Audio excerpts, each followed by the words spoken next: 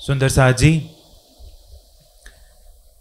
गीता दर्शनम, गीता को जब हम पढ़ते हैं, जनमानस में यही जाना जाता है कि धर्म क्षेत्र, कुरुक्षेत्र के अंदर अर्जुन को विषाद होता है, वह मोहग्रस्त होता है।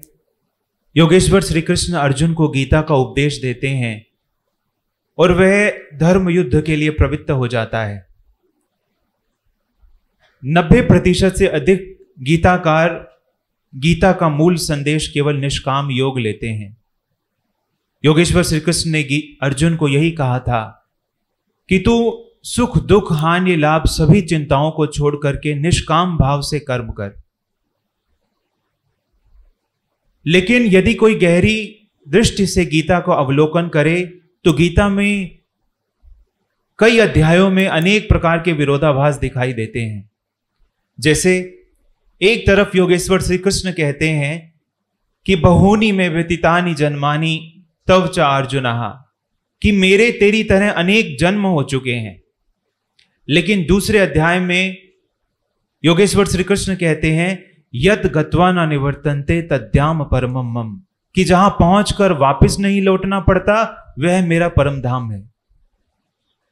यह बात बड़ी असंगत सी लगती है कि एक तरफ़ कहा जा रहा है कि मेरे अनेक जन्म होते हैं, दूसरी तरफ़ कहा जा रहा है कि मेरा धाम परम धाम है, जहाँ पहुंचकर कोई भवसागर में नहीं लौटता। इसी प्रकार गीता के अंतिम अध्याय में योगेश्वर श्री कृष्ण कहते हैं कि तमेव शरणम गच्छ सर्व भावेन भारता, कि हे अर्जुन, तू सब कुछ छोड़ करके उस परमात्मा की शरण में जा। लेकिन उससे दो या तीन श्लोक पहले योगेश्वर श्री कृष्ण कहते हैं, सर्वाणी धर्माणी परितज्य मामेकम शरणम गच्छ। कि तू सब कुछ छोड़ और मेरी शरण में आ जा। इन सब बातों को देखते हैं तो लगता है कि कहीं बहुत बड़ा विरोधाभास है। एक तरफ़ कहा जा रहा है कि तू उसकी शरण में जा, फिर कह रहे हैं कि मेरी शरण में जा। एक तरफ़ कहते हैं कि मेरा धाम ऐसा है जहाँ से कोई आता नहीं है। दूसरी तरफ़ कह रहे हैं कि मेरे तेरी तरह अनेक जन्म बीत चुके हैं। प्रश्न उठता है कि आखिर इसका रहस्य क्या है? इसका रहस्य केवल तारतम वाणी के परिप्रेक्ष्य में ही मिल सकता है।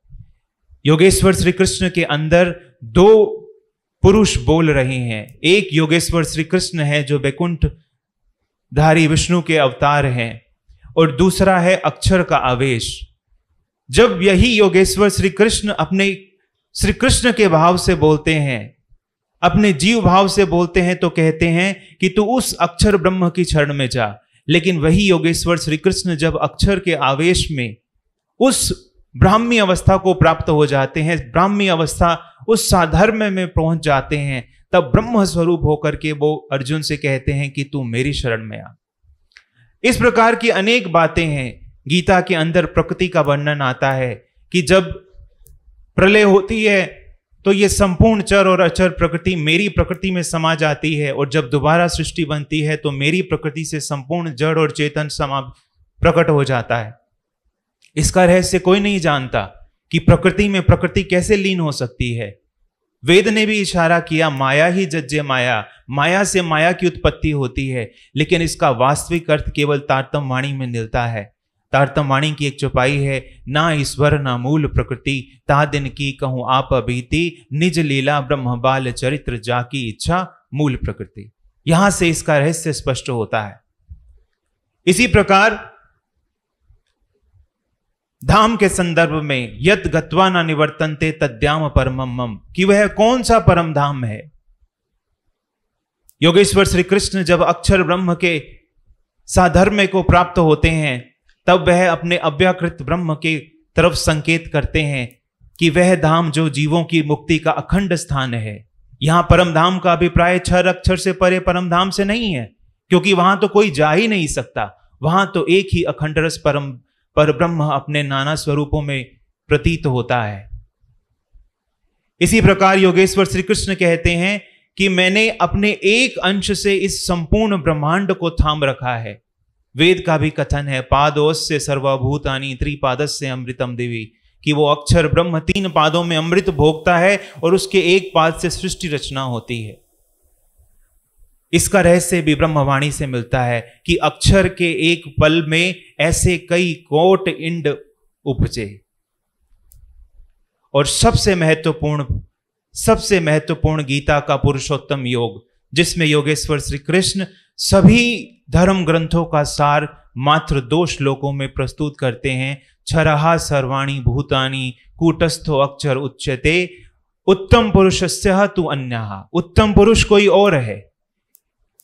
इसका रहस्य स्पष्ट करने का प्रयास तो सबने किया। शंकराचार्य ने इसकी व्याख्या की। उन्होंने भी लिखा, छर क्या है? छरहा सर्वाणी भूतानी। छियते इति छरहा, जो जिसका क्षरण होता है अक्षर क्या है? न छरती न छियते व अक्षरम। जिसका कभी क्षरण नहीं होता, उत्तम पुरुष क्या है? उत्कृष्ट महा जो सबसे उत्कृष्टतम है। लेकिन जितने भी विद्वान हैं, त्रैतवादी विद्वान, क्षर को केवल शरीर मानते हैं, अक्षर को जीव मानते हैं और उत्तम पुरुष को ब्रह्म मानते हैं। लेकिन इसका वास्तविक उत्तर केवल ब्रह्मवाणी में है। हद पार बेहद है, बेहद पार अक्षर अक्षर पार वतन है, सो जागी इन घर। तो इस प्रकार से गीता के अंदर पाँच, पचास प्रश्नों का संचय किया गया, जिनका उत्तर केवल और केवल ब्रह्मवाणी से ही दिया जा सकता है। उन प्रश्नों का संचय कर कर उन्हें ब्रह्मवाणी के परिप्रेक्ष्य में उत्तर देने का प्रयास किया गया। एक लंबा कार्य था, बहुत लंबे समय से चिंतन चल रहा था, लेकिन जब समय आया धामधनी की मेहर हुई स्वामी जी का आशीर्वाद मिला तो एक मात्र ही थोड़े समय में उसका सृजन हो पाया। गीता को देखेंगे, गीता में ज्ञान मिलेगा, भक्ति मिलेगी, गीता के अंदर कर्म का मार्ग भी मिलेगा। तीन प्रकार के विद्वानों ने, तीन प्रकार की विचारधारा के लोगों ने अपने अपने हिसाब से गीता का विवेचन किया, लेकिन वास्तविक रूप में गीता एक समन्वयवादी दृष्टिकोण प्रस्तुत करती है। गीता समन्वयवादी है, गीता सर्वकालिक है, गीता सर्वभौमिक है और मेरा ये मानना है कि बिना तारतम ज्ञान के गीता की कोई भी व्याख्या इस संसार में नहीं कर सकता। अब अधिक मैं क्या कहूँ? आप सभी से मेरा निवेदन है, आप इस ग्रंथ को पढ़िए। इस ग्रंथ में आपको अपने प्रियतम अक्षरातीत पर ब्रह्म के सत स्वरूप की सत्ता का एक दृष्टि गोचर होगा कि क्या उनकी सत्ता है। उसके अंदर आपको भक्ति भी मिलेगी। योगेश्वर श्री कृष्ण अर्जुन से कहते हैं कि मई आसक्त मनाहा, कि तू अपना मन मुझमें लगा, मत पराहा तू मुझ पर समर्पित हो, मत चिताहा, तू अपना चित्त मुझे दे। मई आश्रय कि तू मेरा आश्रय ले। सर्वाणी धर्माणी परितज्य मामेकम शरणम गज।